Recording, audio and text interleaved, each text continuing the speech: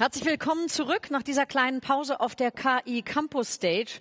Ich weiß, dass viele von euch hier drin, aber auch viele von euch da draußen, die Klickzahlen werden jetzt immer größer, Jonas Andrulis unbedingt erwarten. Das könnte man jetzt als Scoop bezeichnen, dass in diesen Wochen, darüber hat Alois ja eben schon gesprochen, in denen wir so viele Veränderungen erleben, in, in, in unglaublicher Geschwindigkeit, Jonas jetzt hier ist.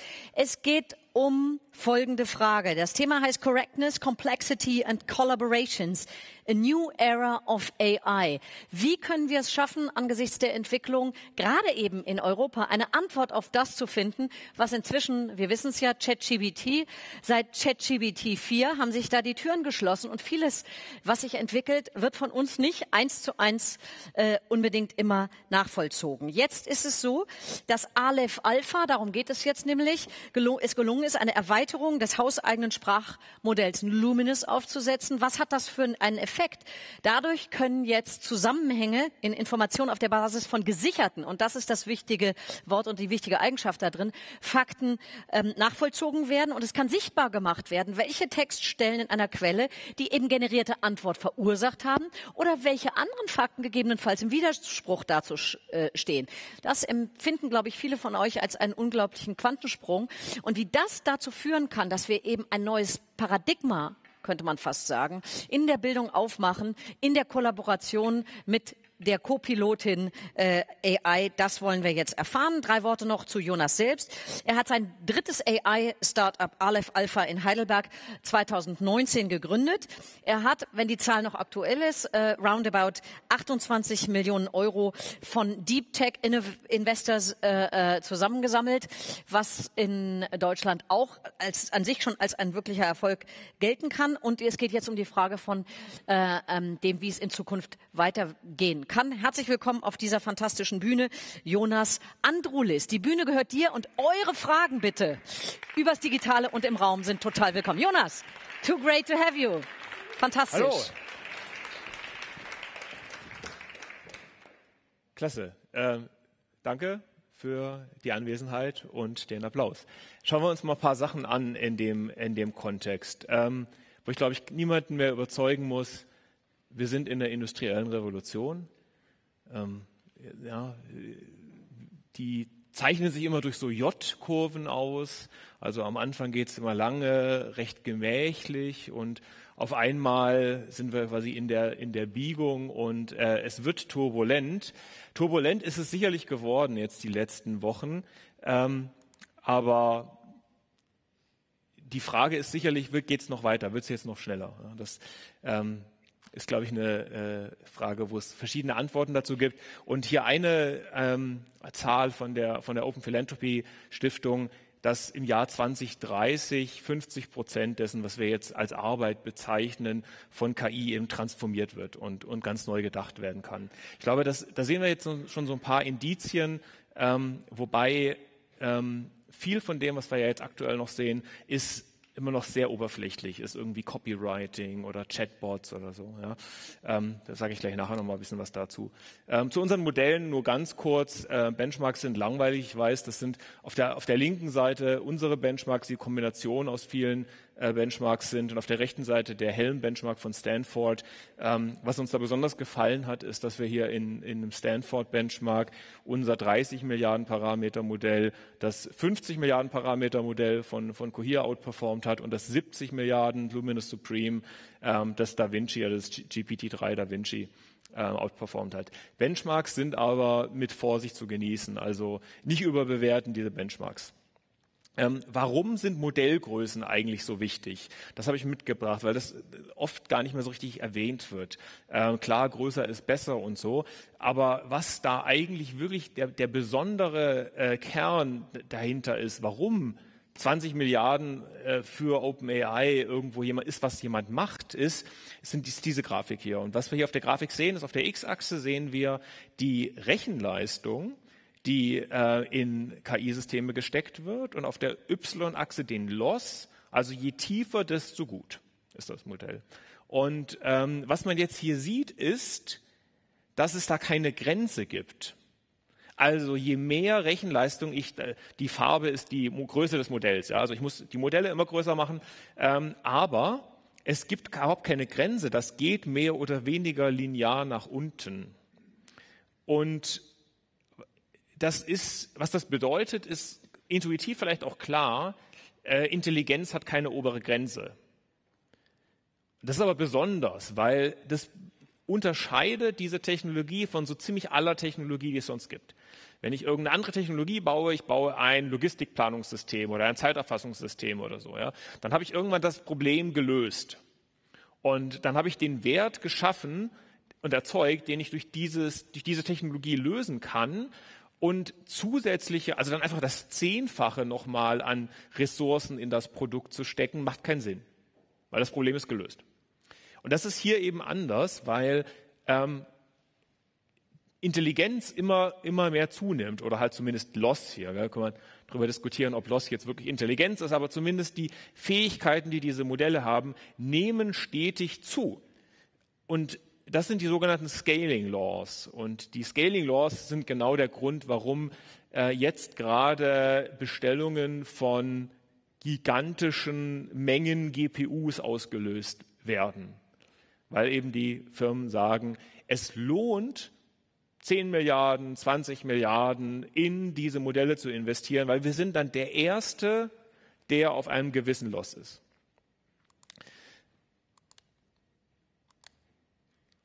Hier ist ein praktisches Beispiel, was das bedeuten kann. Äh, diese äh, ja, Katze in Amt und Würden ähm, unser, unser Modell versteht ja multimodale Daten, das heißt, zeigt man jetzt dieses Bild unserem Modell und fragt, uh, if this cat were elected, its first order of business would be to.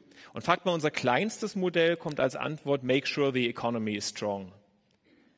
Wo ich sagen würde, ist eine passende Antwort. Ja? Also äh, it's the economy stupid, also das geht natürlich immer. Ähm, fragt man aber unser größeres Modell, sagt es, declare war on the dog. Ja? Und äh, was das ein bisschen anschaulich zeigt, ist, je größer die Modelle werden, desto eher sind sie in der Lage, zwischen den Zeilen zu lesen oder Dinge zu verstehen, die nicht super offensichtlich sind, die nicht ähm, anhand von, von speziellen Schlüsselworten erkannt werden können. Auch Dinge wie Humor und Ironie. Ja. Also all diese Dinge, die eigentlich die Finesse der menschlichen Kommunikation ausmachen, die sehen wir in größeren Modellen deutlich stärker ausgeprägt. So ein paar technische Daten. Man sieht ja, das erste ist mit 64 äh, GPUs und das zweite mit 256 GPUs trainiert worden. Ähm, also was machen wir? Einfach immer größer die Dinger, oder? Gib ihm. Ja. Ähm, und das ist ein lustiges, äh, lustiges äh, Comic, der so in der Machine Learning Research Community seit einiger Zeit rumgeistert, wo man eben sagt, in der, in der Zeit ähm, vorher noch äh, aus den Anfängen der, der Deep Learnings, da waren Innovationen im Deep Learning geprägt von tiefer Mathematik und besonderen Aktivierungsfunktionen und analytischen Überlegungen und so. Und äh, heute sind Innovationen im Deep Learning, wir haben einfach noch mehr GPUs gekauft. Ähm, ganz so einfach ist es dann auch nicht, aber es ist zumindest ein Teil des, der Treiber dessen, was wir gerade sehen. Und äh, das hat auch Pedro Domingos hier ganz äh, passend bemerkt, wo er sagt, die Rechenleistung in neue Modelle ähm, ist, sieht selbst auf einer Exponentialskala exponentiell aus. Also da geht's wild, wild ab. Und das ist schon alte, alte Grafik, also ich kann, ich kann euch bestätigen, ähm, das ist ungebrochen, dieser Trend. Was bedeutet denn das für, für Wahrheit? Was bedeutet das für Vertrauen? Was bedeutet das für Verantwortung, die wir, die wir haben? Und ähm, eine interessante, das müsst ihr jetzt nicht durchlesen, ich die, die Kern, Kernaussage äh, ist, das, was wir gerade vorhin gesehen haben mit dem Loss, der Loss geht also immer weiter runter, ähm, das ist eine Metrik, die, und das ist eigentlich der große Überraschung auch gewesen, die in der Lage ist, Dinge einzufangen, die wir dort nicht vermutet hätten. Ähm, wo man eben sagt, ganz einfach, offensichtlich, der Loss fängt an zu lernen, was gibt es für Worte, was gibt es für, für grammatische Redewendungen, wie, äh, wie passen Sätze und Worte nebeneinander. Aber je, je größer ich die Modelle mache, desto eher ist auch was ganz Besonderes im Loss drin. Also ähm, Philosophie und, und äh, Humor und besondere logische Überlegungen. Die sind alle in dem Lost drin, nur der Beitrag über die gesamten Trainingsdaten wird eben immer kleiner. Und deswegen funktioniert das. Hier ist ein schönes Beispiel von äh, ChatGPT gefragt, ähm, auf welchem Kontinent der Attentäter Lincolns zum Zeitpunkt des Attentates war. ChatGPT kennt den Attentäter Lincoln, sagt John Wilkes Booth, weiß auch, wo, wo, das Attentat stattgefunden hat, im Ford Theater, sagt dann aber, ähm, ich weiß nicht genau, wo der Attentäter war. Kann also die Frage nicht beantworten. Und ähm, das ist interessant, das wäre Menschen nicht passiert. Und das ist ein schönes Beispiel dafür, dass wir hier eine Art der Intelligenz haben, die aber nicht genauso funktioniert wie die menschliche Intelligenz. Sie hat in vielen, vielen Beispielen sehr ähnliche Effekte, aber das, was dahinter steht, ist nicht ganz identisch. Und das, glaube ich, müssen wir immer im Hinterkopf behalten. Und äh, hier ist ein Gespräch mit äh, ChatGPT über mich selbst, äh, wo ich gefragt habe, was meine wesentlichen Contributions bei Apple waren. Und ähm, sagt er erst, weiß ich nicht genau, ich brauche mehr Info. Dann gebe ich ihm richtig, mehr richtige Info und sage, I joined 2016 in the R&D Special Projects Group. Und dann äh, kommt so ein bisschen richtige Information über Special Projects. Aber es kommt eben auch die Behauptung, ich war, dass ich Senior Software Engineer gewesen sei. Und das ist falsch. Ja, also das liest sich alles sehr plausibel. Natürlich gibt es in Special Projects sehr viele Senior Software Engineers. Ich war aber keiner davon. Und dann habe ich mich gefragt, wo kommt denn das her? Hat er das irgendwo gefunden oder was? Und dann habe ich einfach nach Senior Software Engineer Jonas Andrulis und Apple gegoogelt.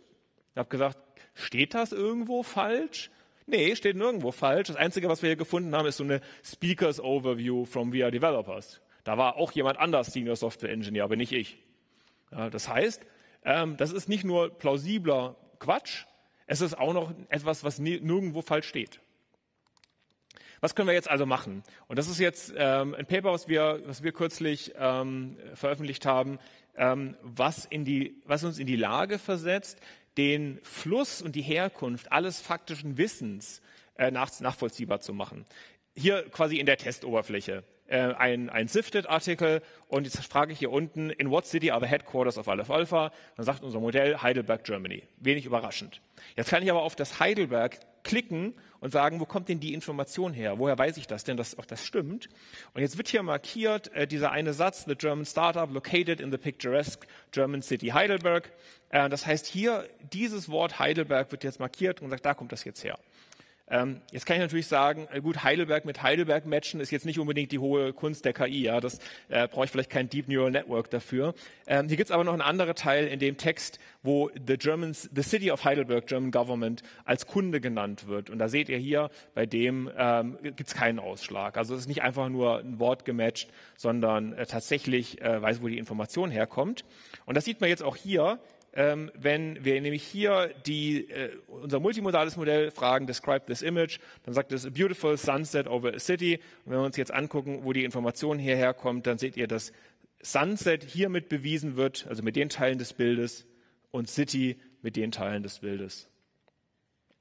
Ja, das heißt, wir können jetzt im kompletten multimodalen Raum oder im multimodalen Knowledge Base ähm, zeigen, wo faktische Information herkommt und damit dem Menschen Kontext geben und das Ganze eben sogar negativ. Jetzt haben wir hier dieses, äh, dieses Bild und ich prompte, the house number is und kriege dann 30.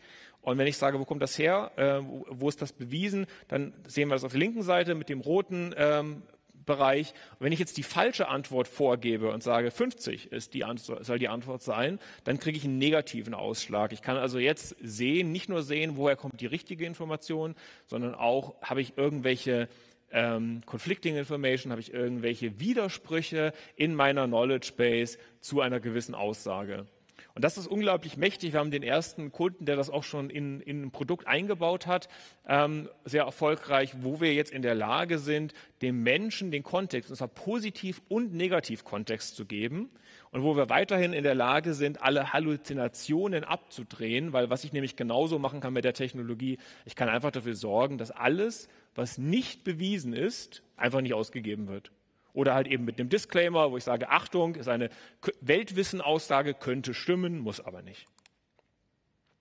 Ähm, das heißt, der Mensch bewegt sich jetzt in eine andere Rolle. Der Mensch ist für mich der Orchestrator des Wissens und der Konzepte und ist nicht mehr jemand, der halt irgendwie äh, selber äh, Worte reintippeln muss und selber äh, Texte durchlesen muss, sondern der von von der KI, von einem KI-Assistenzsystem in die Lage versetzt werden kann, diese Wissen, äh, Beobachtungen, Konzepte zu mischen und zu orchestrieren und damit eben neues Wissen zusammenzusetzen, damit äh, Prozesse zu steuern. Diese Form der Mensch-Maschine-Interaktion, da stehen wir gerade erst am Anfang. Also da gibt es jetzt erste äh, Spielereien, die wir haben. Ja, wir haben zum Beispiel einen Kunden, der lässt sich immer fünf äh, bedeutsam unterschiedliche Vorschläge anzeigen äh, und hat dann mit diesen fünf Vorschlägen jeweils mit den Verlinkungen in den Kontext, sagt er, allein das ist typischerweise schon so bereichernd, weil man immer irgendwelche Sachen noch selber nicht, nicht im Kopf hatte. Ja. Das sind äh, neue Konzepte, wo wir auch wirklich, das können wir nicht alleine lösen, da brauchen wir unsere, unsere Partner und auch viel äh, viel der Kreativität und Domänexpertise, ähm, die wir aktuell über, irgendwie über Partnerschaften und, und von Kunden bekommen. Ähm, und das, da wird es auch noch mehr geben im Sinne von, was einfach technisch möglich ist. Schauen wir noch einen kurzen Blick auf die Technologie und die Möglichkeiten, die wir vielleicht haben, jenseits der stochastischen Papageien. Also vielleicht noch eine äh, Ergänzung zu den stochastischen Papageien. Äh, was mir sehr gefallen hat, war ein, äh, ein Europe's Panel, ähm, wo ich war, wo ich drauf war mit, mit ein paar Researchern zum Thema Neuroscaling. Und eine Frage aus dem Publikum war, ist aber so, das ist ja überhaupt keine echte Intelligenz. Und ähm, Zuerst war meine Antwort, ja, stimmt, ist keine echte Intelligenz, also es gibt ein paar wesentliche Unterschiede. Äh, dann meinte aber einer der, der brillanten Researcher auf dem, auf dem Panel, stimmt schon alles, ist keine echte Intelligenz, macht aber eigentlich keinen Unterschied, weil es im Effekt dennoch alle unsere Wertschöpfungsprozesse transformiert. Ja, also dieses Beispiel, das wir gerade gesehen haben mit dem, mit dem Attentäter zum Beispiel, können wir jetzt sagen, ja, okay, das ist eindeutig etwas, was der Mensch vielleicht so nicht falsch gemacht hätte. Da sieht man, dass diese Maschinen gar nicht echt denken können. Ähm, macht aber nichts, weil wenn ich damit trotzdem alle, äh, alle Knowledge Work und alle informationsbasierten Wertschöpfungsprozesse radikal so umbauen kann, dass sie dann auf einmal irgendwie fünfmal so effizient sind, dann äh, ist der Effekt trotzdem da. Und dann kann ich natürlich irgendwie akademisch sagen, ja, ist aber gar kein echtes ähm, ähm, Wissen oder gar kein echtes äh, Denken, ähm, aber das hat dann im Effekt erstmal keine Wirkung. Und das Gleiche gilt natürlich auch dann für, ähm, für Education und wie wir, das, wie wir das in unsere Ausbildung, also wie wir Menschen besser darauf vorbereiten und wie wir das auch nutzen können in der Ausbildung. Da müssen wir natürlich vorsichtig sein, aber im Effekt macht es ein ganz neues Spektrum von, von Chancen auf. Ähm, so, jetzt habe ich noch ein Paper mitgebracht, das ist jetzt ein bisschen älter, aber ich finde es immer noch äh, enorm wesentlich. Ähm, das, was das Paper gemacht hat, ist einen synthetischen Datensatz gebaut, in dem Beobachtungen aus der Kombination von mathematischen Regeln äh, entstanden sind. Also wir haben zufällig oder generierte äh, mathematische Regeln und dann haben wir eine Menge von Beobachtungen, die Kombinationen dieser Regeln sind. Und das ist so ähnlich wie die Welt und Physik. Also wir nehmen ja die Welt wahr, wir beobachten Dinge, zum Beispiel der Apfel fällt runter. Und ähm, wir beobachten quasi nur den Effekt. Und dann stellen wir aber Überlegungen an, was die Ursache sein könnte für diesen Effekt. Und wir wollen den Effekt nicht auswendig lernen. Das, was KI, äh, dieser stochastische Papagei macht, ist im Prinzip auswendig lernen. Ah ja, wenn so ein Muster besteht wie ein, ein Baum und ein Apfel und so, dann habe ich typischerweise diese Prediction. Also so, so quasi. Was wir aber machen wollen, ist, wir wollen herausfinden, was eigentlich der Kern der ganzen Sache ist, was dahinter steht. Ähm, wir wollen also die analytische Quelle der Beobachtungen äh, erkunden und dafür Hypothesen aufbauen. Das ist Physik. Physik lernt nicht einfach nur anekdotisch auswendig, dass typischerweise äh, Äpfel von Bäumen fallen, sondern Physik erklärt, warum das so ist und kann dann auch Vorsa Vorhersagen treffen äh, von anderen Massen, die sich dann anziehen können und ähnliches. Und das ist so ein bisschen ist diese, dieses Beispiel in einer sehr vereinfachten Form. Ich habe äh, eben hier eine A-Operation und eine B-Operation und die verursachen gemeinsam ein Ergebnis. So, so sahen dann die tatsächlichen Trainingsdaten aus. Also eine riesige Tabelle, alles voll mit Variablen und ganz viele Lücken drin. Und die Aufgabe der KI hier war, diese Lücken zu füllen. Also kann ich, wenn ich den Apfel vom Baum habe fallen sehen, korrekt vorhersagen, wie sich zwei Massen an einem Pendel hängend gegenseitig anziehen. Also die, die Funktion, die generative Funktion der Beobachtung auf völlig neue äh, Kombinationen äh, übertragen und eben sehr viel leere Lücken. Also ich kann, äh, muss im Prinzip sehr viel füllen. Und ähm, was dann passiert ist, ah hier, hier sind wir. So, was, das ist das Ergebnis. Und ähm, was wir hier sehen, sind zwei Kurven. Das eine ist ein Trainingsloss oder Trainings-Accuracy und das andere ist eine ähm, Validation Accuracy. Was das bedeutet, ist, wie gut kann das Modell die Trainingsdaten reproduzieren und wie gut kann das Modell Daten reproduzieren, die es nicht während des Trainings gesehen hat.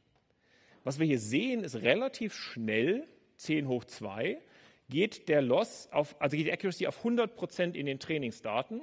Das heißt, das Modell hat relativ schnell die Trainingsdaten auswendig gelernt, ist aber in den Validation-Daten bei Null. Also hat keine Chance, kann, kann ungesehene neue Beobachtungen nicht vorhersagen. Normalerweise würde man das jetzt abbrechen, das Experiment. Sagen, okay, gescheitert, hat auswendig gelernt, das war nicht das Ziel. Was die hier gemacht, gemacht haben, ist es um Faktor drei länger laufen, also tausendmal länger laufen lassen, als man es hätte äh, normalerweise gemacht. Und plötzlich begreift das Modell diese Zuordnungsvorschrift und kann das lösen. Plötzlich kann es diese neuen Beobachtungen, diese, diese analytische Aufgabe lösen. Und das ist im Prinzip eine große Sache, ähm, die, wo wir uns die Frage stellen können, diese Leiter, diese, dieses Pattern Matching, wo führt uns das hin? Können diese Modelle prinzipiell analytisch lernen? Und es spricht einiges dafür, dass sie vielleicht können. Und ähm, da springe ich kurz drüber. Ähm, hier sehen wir die Wertschöpfung, die Economy und globale Wertschöpfung. Und ähm, den oberen Bereich ist so ein bisschen das, was wir sehen, wenn wir uns die jährliche Leist Steigerung der Wirtschaftsleistung anschauen. Also jährliche Steigerung zwei Prozent oder so oder vielleicht fünf Prozent, je nachdem, wo wir sind. Ähm, das sieht ja alles nach einer gemütlichen Fortbewegung aus. Wenn wir allerdings zwei Schritte zurückgehen, äh, dann sieht das Ganze so aus wie im unteren Bereich. Und ähm, wir sehen auch, dass es eine sich stetig beschleunigende Bewegung ist. Ähm, und hier mit, mit KI entfernen wir viele von den Limits, die noch durch menschliche Arbeit äh, gegeben sind. Das heißt, hier ist die ganz spannende Frage, wie geht es weiter in dieser, in dieser Skala und wie können wir darauf positiv einwirken. Danke.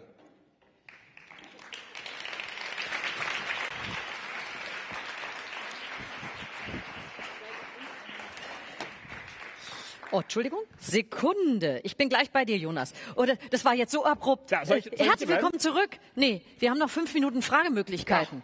Ja. Äh, äh, Selbstverständlich. Toll, dass die Hütte so voll ist. Eure Fragen mehr als willkommen. Gerne auch im Licht hier auf der linken Seite an diesem Mikrofon. Bitte, wenn du so lieb wärst, sonst wirst du im digitalen Raum nicht gehört oder wir kommen mit dem Mikro zu dir. Wenn du dich ganz kurz vorstellst und dann danke, Mira. Ähm, ja, hallo, ich bin der Tristan von AI Founders und meine Frage ist so ein bisschen, ich meine, man kann zum Beispiel ein Ferrari ist ein schnelles Auto oder wenn man irgendwie äh, bei der Formel 1 ausschaut. Aber die sind nicht effektiv, weil wir die nicht auf der Straße sehen und weil die keiner nutzt. Du zeigst uns gerade ein Modell, das super gut ist. Wie viel nutzen denn überhaupt letztendlich eure Lösung?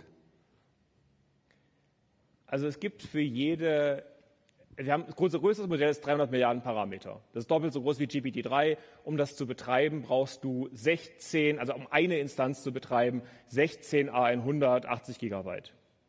Kannst du das mal übersetzen für alle da draußen, die das jetzt nicht einordnen können? Ähm, das kostet, also, also, um die Hardware zu kaufen, um eine Version zu betreiben, das kostet ungefähr eine halbe Million.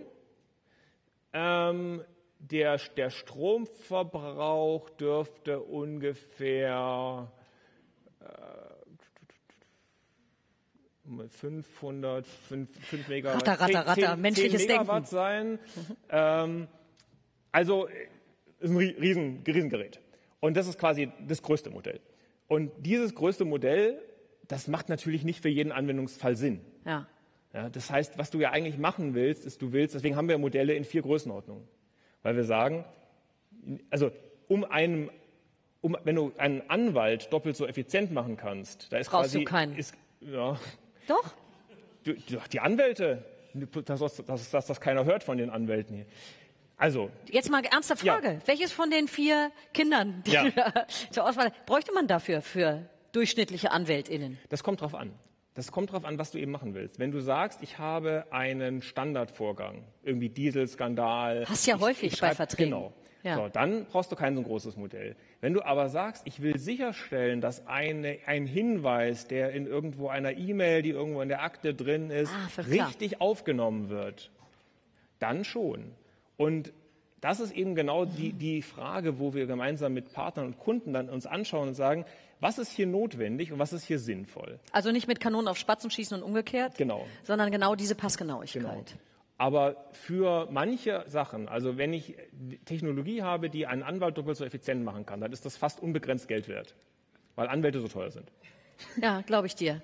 Äh, also deswegen diese Grenzkostenfrage. Ja. Ja. wenn wir am Anfang, du sagst eine halbe Million, da kann ich ja die Uhr nachstellen, dass sich das in kürzester Zeit, also nicht nur bei Anwälten, sondern in, im Prinzip in allen Bereichen, inklusive Bildung, Ja, rechnen Genau. wird. Ja. Genau, also das ist halt so, so ein Turbo für alle Wissensarbeit, die wir, die wir machen können.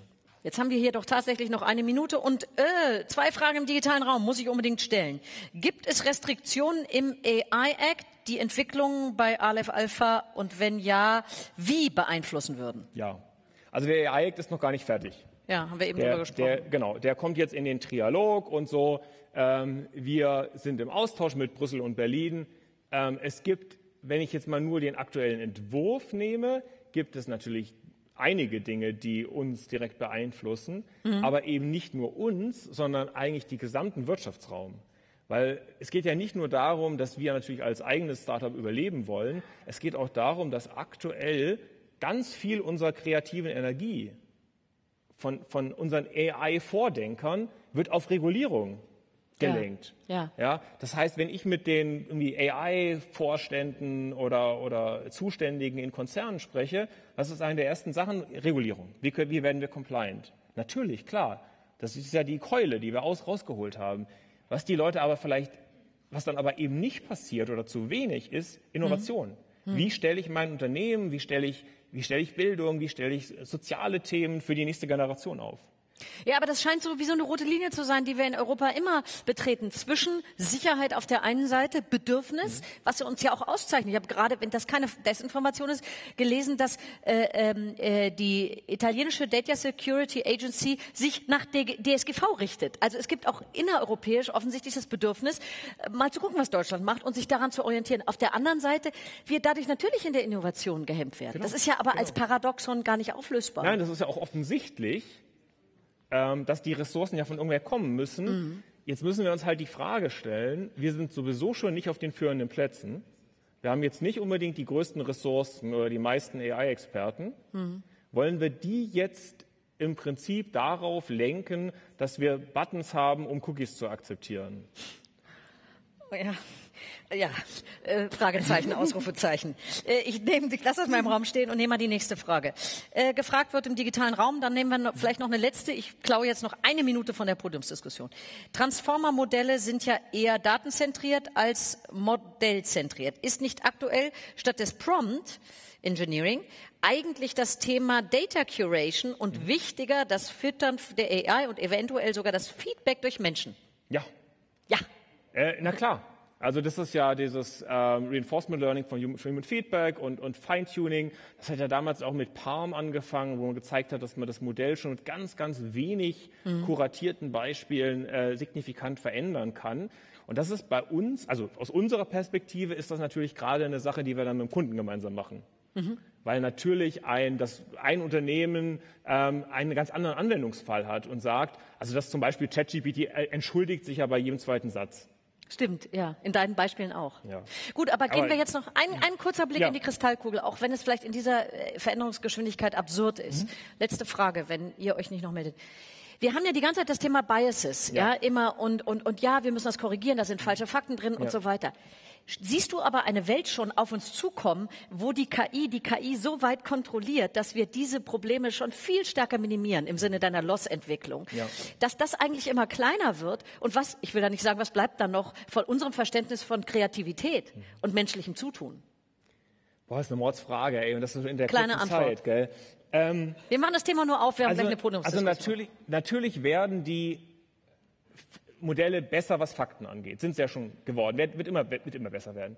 Wir brauchen aber für die kritischen Anwendungsfälle, wo wir echt Verantwortung übernehmen müssen, brauchen wir mehr als nur irgendeine Aussage mit der Hoffnung, wird schon stimmen.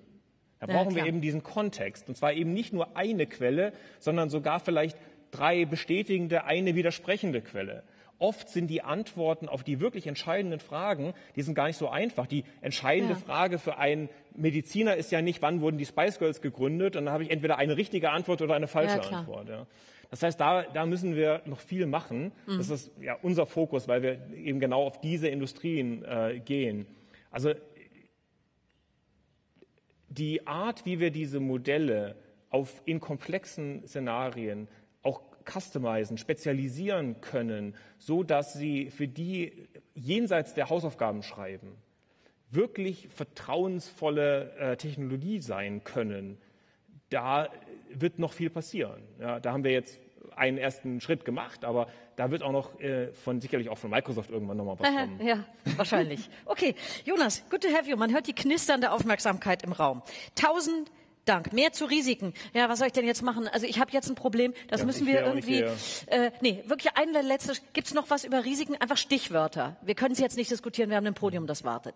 Also Risiken werden, Nur Stichwörter. Risi genau, Risiken werden manchmal überbewertet. Wie groß ist das Risiko, wenn eine KI ein böses Wort sagt?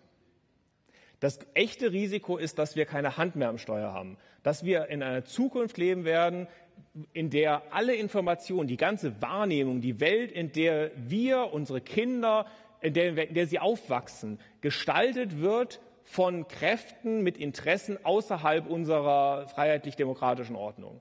Wo dann vielleicht Werbeinteressen oder, oder Politik, also irgendwelche ideologischen Interessen, weil man halt mhm. irgendwo, ja, dass, dass das am Schluss unsere Welt prägt.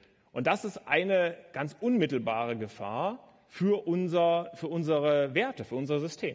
Das ist für, für mich eine viel größere Gefahr, als wenn die KI mich, mich irgendwie, weiß ich nicht, äh, ein, ein böses Wort nennt oder so. Ja? Okay, ah, jetzt, jetzt wird es mich jucken, in den Diskurs einzusteigen und hier zu widersprechen, aber das tue ich jetzt nicht. Jonas, Knaller, dass du da bist und dass du hoffentlich heute noch ein bisschen da bist, auch für die informellen fünf Minuten Alles klar, zwischendurch. dann widersprichst du mir Vielen. Dank. Danke. Vielen Dank, Jonas. Tausend Ciao. Dank.